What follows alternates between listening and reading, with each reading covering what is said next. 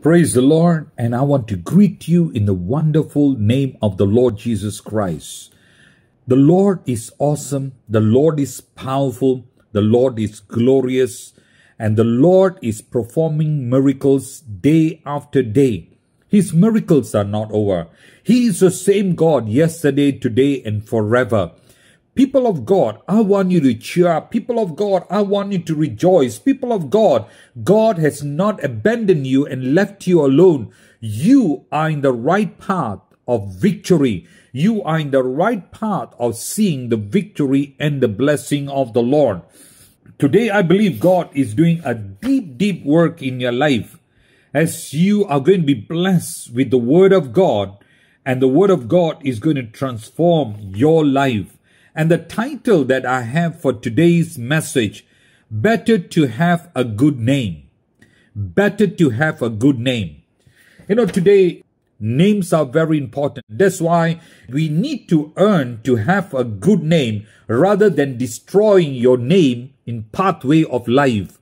Many have spoiled their name. Many have scarred their name. Many people's name is murdered because of the wrong, folly things that we do, because of your own interests, of your own desire, pleasures, you have not honored the name that the Lord has given.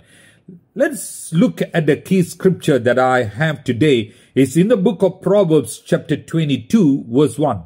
A good name is rather to be chosen than great riches and loving favor rather than silver and gold. A good name is rather to be chosen rather than great riches. So if you want to have a good name, there you must choose and choose to leave a legacy, a name to glorify God and the kingdom of God. So let's choose a good name for the Lord. Better to have a good name for the kingdom of God. There's several occasions God changed the name of those who walked with him. For example, he changed Abram to Abraham. And then he says the name Abraham means father of many nations. How God made him from nowhere to have a great name because God changed his name. Then you see his wife Sarai to Sarah, a mother of prince. Jesus changed Simon's name, who is unstable, to Peter, which means rock. Simon means unstable. Jesus changed his name from unstable to a rock, which means Peter.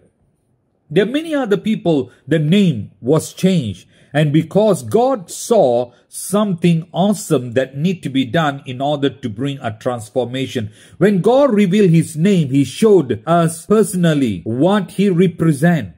He reveals his character as his name El Shaddai, which means strong and breasted one, who gives nourishment to all people.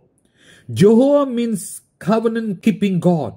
And God is actually saying, I am a God who keeps the covenant. Exodus chapter 6 verse 3, Jehovah is a redemptive name.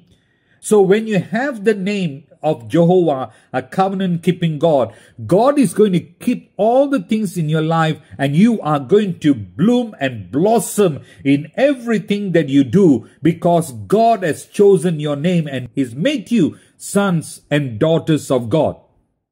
The first scripture again, Proverbs chapter 22 verse 1. A good name is to be chosen. So I pray that you will choose to have a good name, a good respect, and a good quality of things around in the kingdom of God, in church, in the community, that you will have a good name rather than great riches.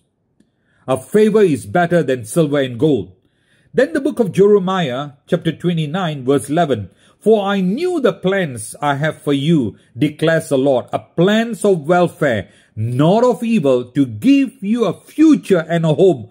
So when God understand that you're walking in a good name, uh, God is going to prosper everything that you're going to do. And he says, I know I got a good plan for you.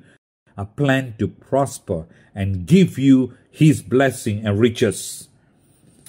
The third scripture that I want to give you is from the book of Proverbs, chapter 3, verse 5 to 6.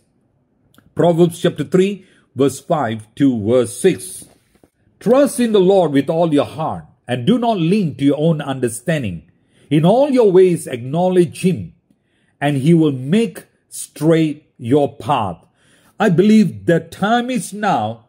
You know, we are living in a desperate situation where everything seems to be hard and difficult, but God is going to turn all things around and is going to make a crooked path straight. And God says, do not lean onto your own understanding, but lean on God and God's word and God's spirit and God's prayer that you will see everything established straight. When you begin to acknowledge Him in all your ways, God will establish you. Isaiah 41 verse 10 says, Fear not, I am with you. Do not be dismayed, for I am your God. I will strengthen you. I will help you. I will uphold you with my righteous right hand. I thank God. In the midst of all these, God says, I will lift you, build you, and I will be with you. I will cause my righteous hand to come upon you.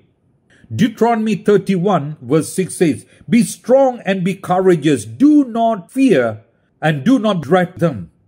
For it is the Lord your God who goes before you. He will not leave you nor forsake you, for God is going to go before us.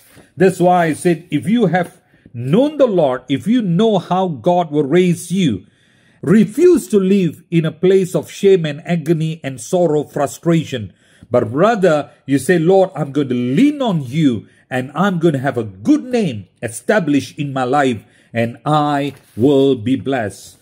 My family and myself will be blessed. My ministry will be blessed. Uh, the things that I do in the kingdom of God will be blessed. Uh, today, my friends, even as you listen to this message, I want you to take some time to have communion with the Lord. And I want you to start praying and praising God. And I believe God will bless you. And I believe God will heal you. And God will prosper you. And God will provide all your needs.